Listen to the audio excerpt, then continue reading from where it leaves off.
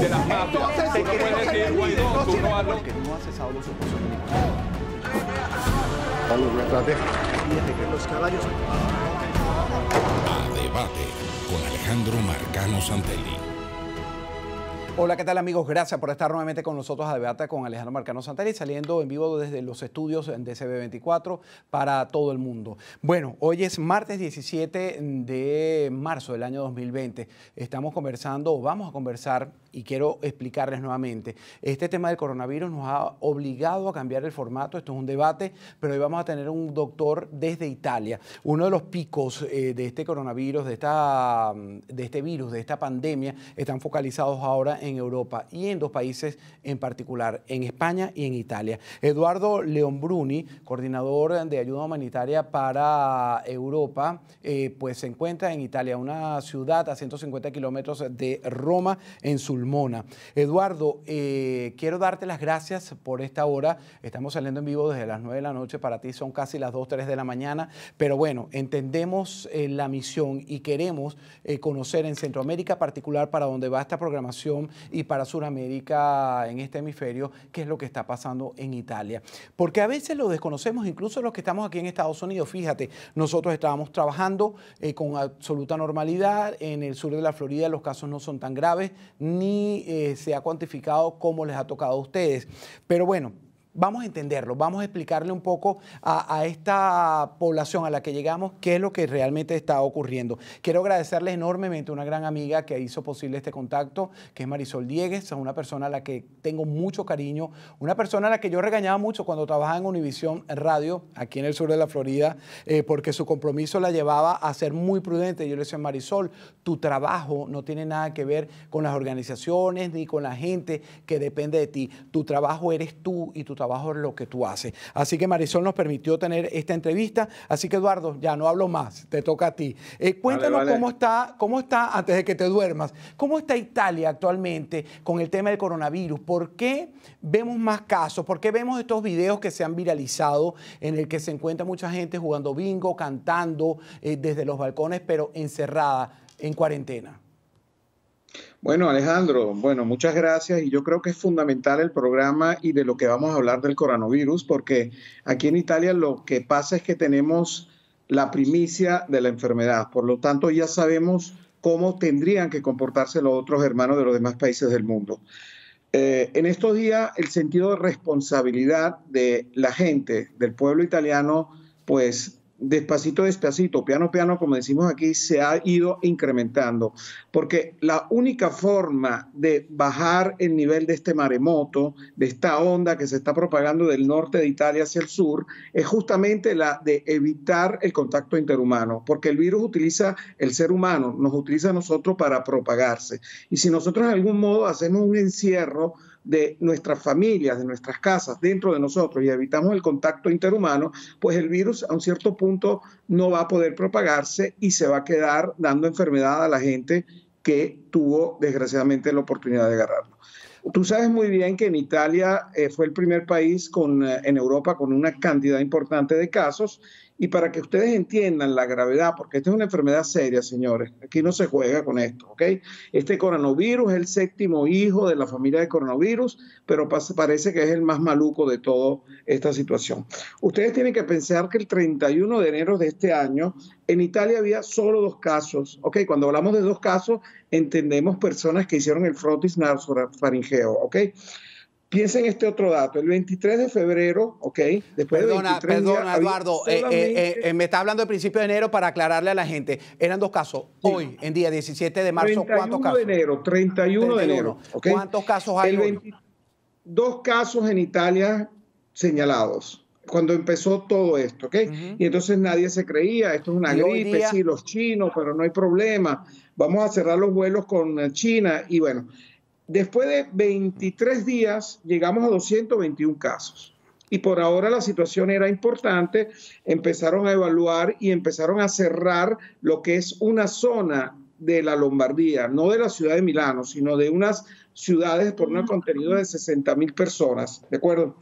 Piensen que en marzo 9, después de eh, casi 14 días, teníamos 7.985 casos, o sea, de 221 a 7.985 casos el 9 de marzo. Eso fue la fecha cuando el gobierno nacional se dio cuenta que eso se estaba disparando y decidió hacer Italia toda zona roja, de una zona muy pequeña que era una parte de la Lombardía, luego fue creciendo, creciendo, creciendo, luego optaron el 9 de marzo de que Italia fuera totalmente zona roja. 9 de marzo. Hoy estamos a marzo 17. Bueno, sepan que hoy tenemos en Italia 27.980 casos, ¿de acuerdo? Y la cosa que más es interesante que respecto al día de ayer, ¿ok? Del 16, hay 2.470 nuevos casos, con una mortalidad que es asombrosa de 349 muertos solo en las últimas 24 horas, señores. O sea, estamos hablando de números que así como parece, no dice nada, pero créeme que son números verdaderamente terribles. Eduardo, Eduardo León Bruni, eh, vamos a ahora sacar de contexto eh, más información sobre esto. 31 de enero de este año 2020 hay solo dos casos. A esta fecha hay 7 mil. En las últimas horas más de 300 personas fallecen. 27 mil. 27 mil, te entendí 7 mil 989. 27 mil. De ellos 300... más de 300 personas muertas. ¿Qué cambió entre el 31 de marzo al día de hoy? Ah, muertas hay 2.158. Ah, claro, son cifras de contagio del virus. Estas 27.000. Sí. Ok, y, venía escuchando una información además en el carro eh, de una entrevista que se le hacía a un experto también desde Italia que hablaba de que pudiera haber un millón de personas contagiadas. ¿Eso es una cifra exagerada o es real? No, mira, el, acuérdense una cosa, que cuando nosotros hablamos de contagios de estas, estas casuísticas, son de las personas que hacen el frotis, ¿de acuerdo? No toda la gente hace el frotis, el frotis se le hace a la persona que tuvo un contacto directo con un enfermo, al operador sanitario que todos los días está tratando con esta gente, que desarrolla, la gente que desarrolla síntomas que son neumonía o insuficiencia respiratoria, o sea, no se le hace a todo el mundo. Entonces, la casuística dice que por lo menos no hay datos ciertos, pero alguien habla de 100 mil casos y otras personas dicen que hay un millón de personas portadores del virus. Yo creo que es importante, Alejandro, que nosotros definamos en números, pero más fácil para entender. Si 100 personas tienen el virus, ¿de acuerdo? Nosotros no sabemos que son 100, pero 100 personas tienen el virus entre 80 y 85, en Italia el valor es 80, no va a desarrollar ningún tipo de enfermedad importante. Va a tener una forma de resfriado leve, a lo mejor ni se va a dar cuenta que tiene el virus, que es portador de la enfermedad. De los 20 que quedan, Alejandro, en Italia, por lo menos son datos italianos, en otros países están variando, 10% de estas personas, o sea, 10 personas desarrollan una enfermedad respiratoria un poquito más importante, lo que amerita el ingreso en el hospital. Los otros 10 que quedan desarrollan una enfermedad respiratoria mucho más grave, ¿ok? Que son los famosos pacientes que tienen que ser ingresados en las unidades de cuidado intensivo y que tienen que ser monitoreados y gestionados con los sistemas de ventilación artificial, ¿de acuerdo? O sea, 80 de estas 100 personas desarrollan una enfermedad pero que no se da ni cuenta, resfriado, muco, rinitis. 10 desarrolla enfermedades que no necesitan una gestión de cuidados intensivos, pero sí hospitalaria, y el otro 10 son los que desgraciadamente necesitan la asistencia ventilatoria inútil. ¿Qué está pasando en Italia? ¿Qué es lo que va a pasar en todas las partes del mundo y sobre todo, creo aún más en Estados Unidos? Que el número de respiradores automáticos que son los que necesitan para gestionar estas 10 personas, pues no hay suficiente en Italia. Si ustedes piensan que Italia, el sistema sanitario público de la Lombardía, acuérdense que en Esta el sistema sanitario es prevalentemente público, ¿ok? Privado es... como casi toda Europa. Entonces, este porcentaje, esta, esta sanidad, ese sistema sanitario lombardo, que es uno de los mejores de Italia y a nivel europeo de alto perfil, está en una fase de agotamiento. Dentro de poco no van a tener más cupos para poder gestionar a esta gente y por lo tanto van a tener que empezar a, a, llevar la gente en otras regiones. El problema grande es que las otras regiones, porque esta es una especie de maremoto que está bajando del norte hacia el sur. ¿Y cuál es la emergencia real en este momento en Italia? Que el número de casos está aumentando en todas las regiones, pero gracias a esta forma de exclusión, en este sentido, de quedámonos en casa, todos en la casa, se ha reducido el número de nuevos contagios. Pero ¿qué pasa? Que la gente que la semana antepasada estaba en el norte, que se contagió y, se escapó hacia sus hogares en el sur, ha transmitido la enfermedad. Y entonces estamos esperando la curva, el crecimiento, que claro, a lo mejor no va a ser como la Lombardía, que es un pico agudo, sino que va a ser un poquito más low. hablando en seres humanos, eh, realmente es preocupante porque todavía hay gente que está contagiada, hay gente que va a seguir contagiando y es una enfermedad que no se va a detener. Entonces, la cuarentena está funcionando. Eh, pudiera decirse de alguna manera que esta es la salida, tal como ocurrió en Wuhan, como ocurrió en China, que fue donde se inició este virus eh, el año pasado y se ha podido controlar, igual que pasó en Corea del Sur. Corrígeme si me equivoco. Absolutamente tienes razón de esto, es la cuarentena. Tanto es cierto que el programa de ayuda humanitaria para Venezuela de nuestra amiga Marisol, y empezamos una campaña con todos los coordinadores de los países en el mundo donde está presente el programa, en el cual explicamos que las normas de lavarse las manos, protegerse la vía respiratoria son fundamentales, pero lo más importante es la cuarentena en la casa, porque es la única cosa que de verdad nos reduce la posibilidad. Esto, Alejandro, es un sentido de responsabilidad. Nosotros somos latinos, tenemos una mentalidad latina, los españoles, los italianos, los portugueses nos identificamos en esta movida y les pido por favor a todos nuestros amigos del Centroamérica, de Sudamérica, que de verdad presten atención a estas normativas de la Organización Mundial de la Salud, porque es una cosa seria, no es ningún juguete. Imagínense, yo soy venezolano, sabemos bien la situación de nuestro país en momentos pre-coronavirus.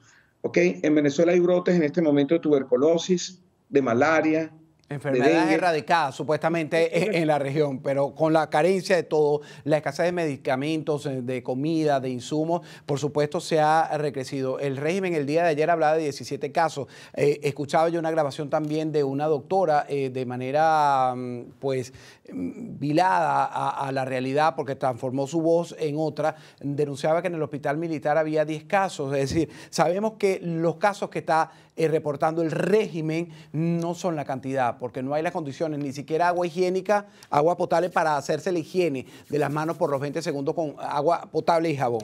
Fíjate, eh, quiero llevarte a la parte más eh, humana. Nosotros aquí en Estados Unidos, fíjate, yo he sido, y lo confieso abiertamente, uno de los que más me ha costado de entender. Nosotros tenemos una cultura, yo tengo casi 52 años saludando a la gente, suelo ser efusivo, cariñoso, este, las manos, el abrazo, y me cuesta mucho en mis trabajos que me rechacen. Eh, entonces yo digo, bueno, pero, y además digo, pero si yo tengo una buena actitud mental, yo creo mucho en Dios, este, a mí no me va a pasar nada en lo absoluto. Eh, yo sé que eso es importantísimo, pero eso no ayuda para nada, ¿verdad? Para el control. ¿Qué dice? No, no, no, mira, eh, tú sabes que en Italia es el país de los besos, de los abrazos. Sí, yo sé, y dos besitos. Y aquí se siente mucho más esa falta de relaciones humanas. Pero nos hemos dado cuenta, Alejandro, que en este momento son otros los valores, ¿de acuerdo? La fe es importante porque nos ayuda a superar todo esto, pero el problema es humano, ¿de acuerdo?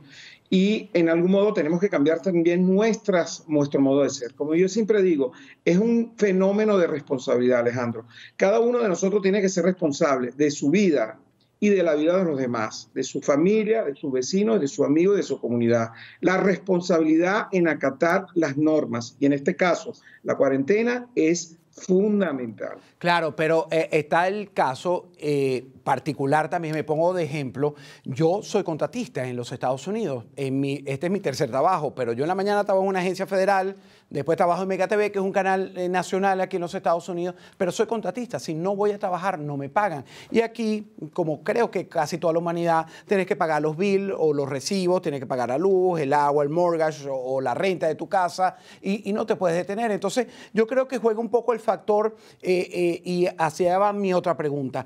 ¿Hasta dónde está entendiendo el mundo, los líderes del mundo, que nosotros tenemos necesidades? Porque si, como dice mi hijo pequeño de 18 años, si pararan el mundo dos semanas, nos vamos a cuarentena, pero no tienes que pagar ninguno de estos gastos, yo creo que otra cosa se entendería mejor. Pero para mí es muy difícil quedarme en mi casa, como me decía mi cuñado que vive en Brasil, quédate en casa, quédate en casa. Sí, yo me quedo en casa, pero pierdo mi trabajo porque la gente está yendo a trabajar en el canal.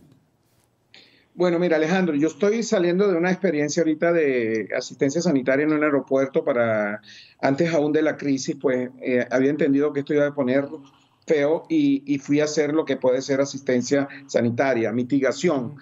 Eh, el problema que tú dices es fundamental y sobre todo se siente mucho más en los países latinoamericanos, los países pobres. En Estados Unidos, así como en Europa y en Italia, justamente hoy pasó un decreto del gobierno donde pusieron 23 millardos de euros ¿ok? Justamente para cubrir todas estas situaciones, ¿ok? Han congelado los que son los, eh, los gastos bancarios, los impuestos y todo lo que es necesario para seguir hacia adelante ayudando a la gente por tres o dos, tres meses, ¿de acuerdo? Están haciendo lo que tendrían que hacer, o sea, apoyar a la gente. Si tú tienes tres trabajos y en el sentido de que tú tienes que hacer cuarentena, la compañía con la que tú trabajas, mejor si es del gobierno, pues ellos te van a reconocer el mes que viene, pues en Italia es algo simbólico, por ejemplo, 600 euros, pero te repito, 600 euros en Italia es mejor que nada. Claro. En el sentido de que los países, los países occidentales o los países del primer mundo, en algún modo, pues van a poder cubrir esto o dando beneficios directos a la pero persona. Fíjate, pero fíjate, Eduardo, que no lo han hecho hasta ahora. Eh, se está estudiando en el Congreso de Estados Unidos. Por eso es que eh, le pido a los médicos también que puedan entender un poquito. Y, este llamado es para los líderes. Tú hablabas de Centroamérica, de Sudamérica y, los países del norte del hemisferio. Pero Alejandro, ¿cuánto no le cuesta al gobierno americano si se le enferman un millón de americanos para darle sanidad? Hacia, hacia allá vamos. Es decir, primero es la prevención porque después te va a ser mucho más costoso. Claro, entonces me conviene más dar incentivos a, la gente que tiene una actividad para que cierre, ¿ok? Le digo que le voy a bajar los impuestos en los próximos meses.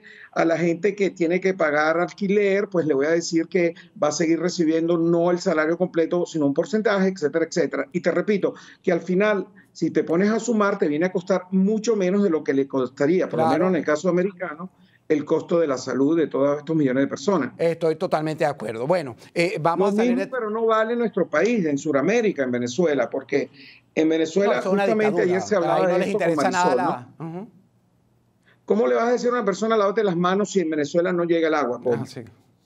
Ah, no hay jabón. ¿Cómo le vas a decir a una persona, oye, tranquilo, no vayas a trabajar? Que no están trabajando. Lo que pasa es que salen a ver cómo sobreviven, dónde conseguir la comida, dónde conseguir el medicamento. Entonces, estamos hablando de un concepto que es válido para Europa, válido para Estados Unidos, pero Alejandro, el trabajo que ustedes periodistas tienen es fundamental pasar el mensaje a nuestros hermanos que están en el que se llama el primer, no primer mundo, o sea, donde todo lo que estamos diciendo es válido, sobre todo la cuarentena. Pero claro, ¿cómo le vas a pedir cuarentena a esa pobre mujer del barrio que para sobrevivir, darle comida a los niños, tiene, que, bajar a ver cómo se ingenia?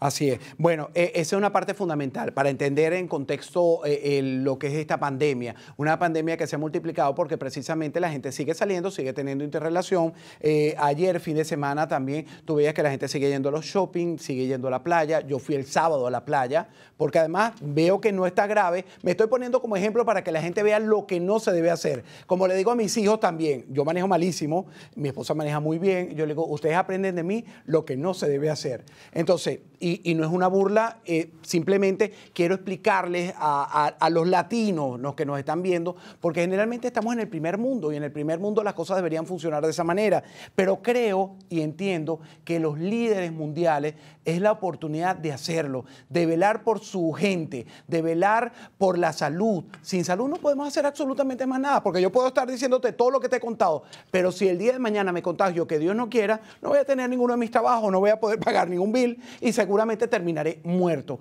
Entonces, ¿cómo entenderlo? ¿Cómo ustedes médicos hacerle entender a las autoridades? ¿Cómo hacerle entender realmente a esa gente que nos está viendo a esta hora de la noche? Eh, bueno, mira, eh, en Italia lo estamos obteniendo con el ejemplo. Acuérdate que la, mm, la sanidad, como en Estados Unidos, la sanidad, pues hasta hace un par de meses éramos los tipos que había que denunciar para poder luego agarrar eh, dinero por malpractice, ¿de acuerdo?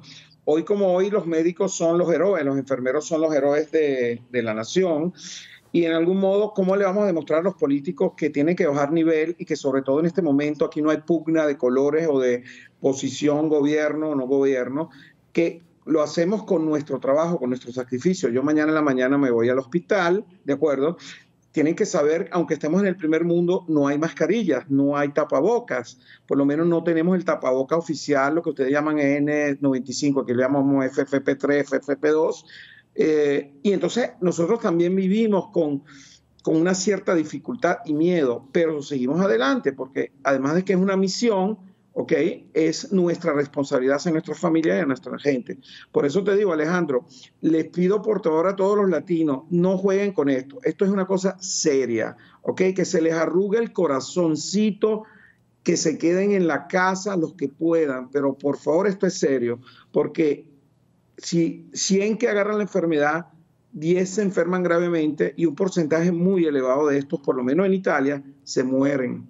Miren, piensen una cosa, en Brescia, que hasta la semana pasada había algunos casos, hoy en la prensa, ¿cómo se dice Alejandro? En necrologios, cuando se muere uno que te pone la, la fotico en el periódico y dice, ay, se murió, chéverísimo, ¿no? Se llama necrologio en español, ¿no? No, no, no, en español no se llama así, pero no lo tengo eh, eh, en, eh, yo sé, en los periódicos llamado, sí, para invitar a la misa, claro te si alguien de la producción me avisa cómo se dice, si está por ahí Marisol detrás de cámara o alguien me dice, pero no, eso tiene su, su, explicación, pero no la tengo ahora en español. Bueno, ok, es una, una forma de, de, de, avisar a la gente, a las últimas páginas de los periódicos italianos, tiene una, una, una, la página completa donde tú pones la gente que se murió, la edad y bueno, sí, toda la, invitación a la misa. Ok, perfecto. Bueno, en Brescia uh, hace tres días eran dos páginas y media. Ayer fueron 17 páginas. Las esquelas, mira, me están soplando aquí las esquelas de, de mortuorias, que son las que te ponen en las funerarias cuando tú avisas que un, familiar se te murió. Este, por lo menos me lo soplaron. el periódico. Bueno, terrible. Imagínate, de dos páginas y algo, hoy estamos en 13, 14, 15 páginas. O sea, la cantidad de personas que están muriendo es elevadísima. Es cierto que en Italia el número de la gente que está muriendo son mayores de edad, mayores de 60, 70 años, con otras enfermedades. Ok, de acuerdo. Pero, por ejemplo, en Pescara, que es la ciudad más cerca a mi residencia, pues está ingresada en UTIC una niña de 12 años.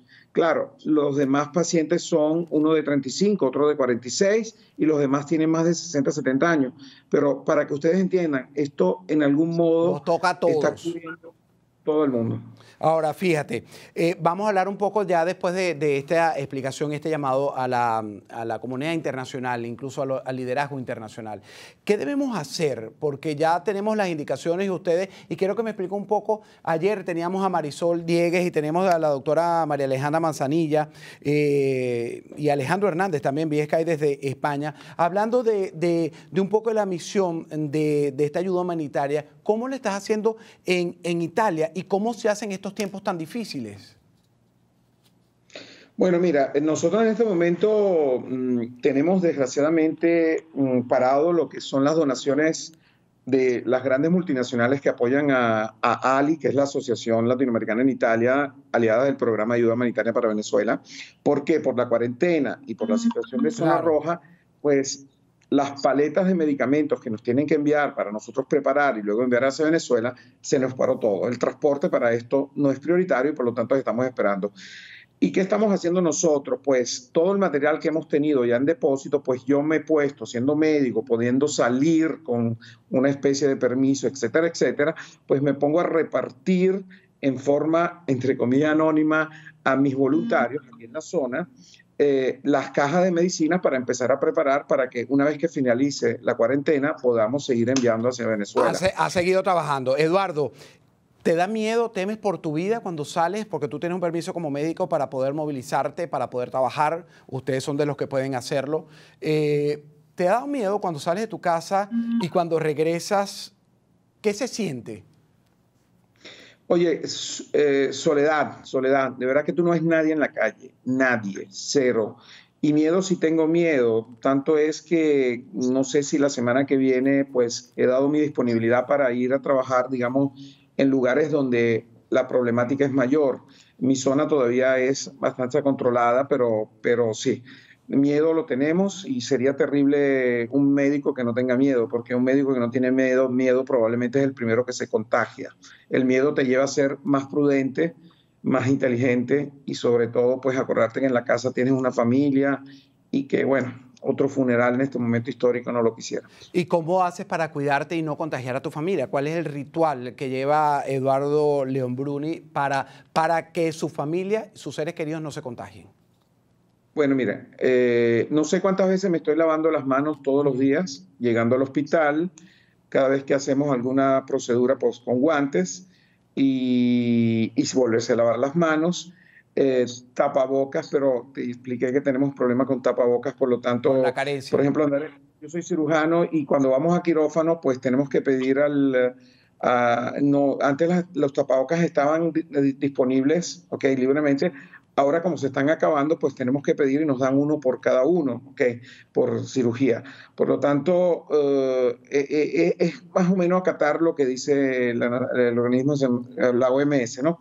Una vez que salgo del hospital, bueno, los guantes vienen botados, vienen puestos en, los contenedores especiales, te lavas tu mano y te vas a tu carrito tranquilo. Cuando llegas a la casa, antes de saludar a la familia, te vuelve a lavar las manos y en algún modo pues tratas de mantener todos los que son los parámetros. Indudablemente el problema grande es que yo tratando todos los días con decenas de personas potencialmente infectas, pero claro, estoy en un reparto de cirugía, no estoy en una unidad de cuidado intensivo, pues el tapaboca que yo utilizo es el tapaboca quirúrgico, el normal, que probablemente podría no ser necesario según las indicaciones de la OMS, pero que algo desde el punto de vista psicológico te ayuda a estar más tranquilo. Lo del tapaboca necesitaría otra transmisión, Alejandro, porque ahí se está creando una confusión única. Claro, no, y además te digo algo, hoy la maquilladora llegó y la veo con un tapaboca, mm, me le traté de acercar, y yo te puedo besar, te saludo, ¿qué hago? Entonces nos saludamos con el codo. Aquí estuvo la semana pasada Ellen Marty, yo sé que la debes conocer, fue una mm, profesora eh, de la universidad aquí en el sur de la Florida, amiga eh, personal y que estuvo con el tema del ébola. Él me dice, acostúmbrate a saludar con el codo, pero bueno, así lo hicimos. Pero la maquilladora tenía el tapaboca eh, con la nariz descubierta. yo le digo, no estás haciendo absolutamente nada, porque entonces no te estás instruyendo, porque para no tener, tienes que tapar tanto la boca como las, las cavidades nasales, ¿no? Las fosas nasales, o, me equivoco. Mira, en realidad el tapabocas, el clásico, no el que tiene los filtros, ¿ok? No sirve para, para que no agarremos la enfermedad. Sirve simplemente para el que tiene resfriado o el que teóricamente tiene la enfermedad no la transmita. ¿Ok? Porque un tapaboca de eso, pues para nosotros fundamentalmente no nos protege, porque puede entrar el dropper puede entrar por los lados, por arriba, por abajo, etcétera, etcétera. Entonces, según las indicaciones que se nos dan, pues simplemente tiene que utilizar tapabocas y tapabocas de los de calidad, los que tienen los filtros, como le decía anteriormente, la gente que tiene que tratar eh, con los pacientes positivos que saben que tienen la enfermedad. Les repito, eh, es mucho más importante lavarse las manos, es mucho más importante evitar estar en un metro, en un autobús a contacto con la gente, porque ahí ni tapaboca ni nada te va a salvar. Por lo tanto, desgraciadamente regresamos al concepto de la cuarentena. La cuarentena es en este momento la solución al problema y cuando uno no puede hacer cuarentena, pues respetar las indicaciones que ya todos ustedes conocen. La autoridad. Eduardo, la última pregunta, se nos termina el tiempo. ¿Qué tan cierto es que en Italia ha proliferado eh, el virus del coronavirus por la ingesta de ibuprofeno, Advil? ¿Hay una contraindicación o es más de la fetichería comunicacional de las redes sociales? Mira, yo no, no, no, no hay indicaciones científicas serias de todo eso. Yo también he leído el artículo, bueno, el artículo, las dicerías que están ah, dando vuelta, no creo, no sinceramente. Sí, que en Italia se use mucho ibuprofene, me parece perfecto. Entonces la pregunta sería, ¿por qué entonces se ha diseminado en una parte específica de la Lombardía? Porque acuérdense, en este momento la ciudad de Milán... Nos quedan, 15 segundos, Eduardo, rapidito. Sí.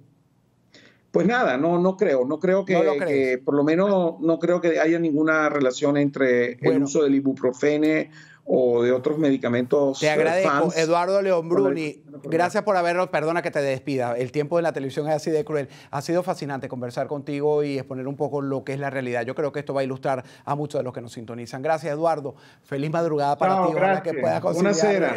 Buena cera para ti también. Así que, amigos, a ustedes, gracias por habernos acompañado. Recuerden que esto es un formato totalmente diferente. El mundo está cambiando. Hay mucha gente que no quiere venir, no quiere participar, pero tratamos de hacer el esfuerzo para ustedes a través de SB24 para que estén informados de lo que deben hacer. Hasta mañana.